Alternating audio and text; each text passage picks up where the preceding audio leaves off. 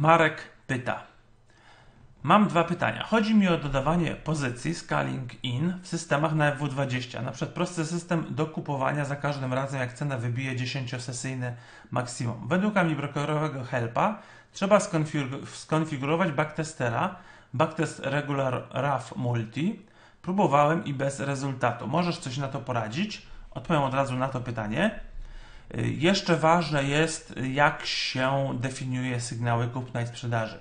Nie może być to wtedy tylko jedynka, czyli true, domyślnie y, w, w tablicy buy czy w tablicy short, ale są odpowiednie wartości dla, skali, dla skalowania inne, informujące mi brokera o tym, że to jest właśnie skalowanie, a nie zawieranie pozycji.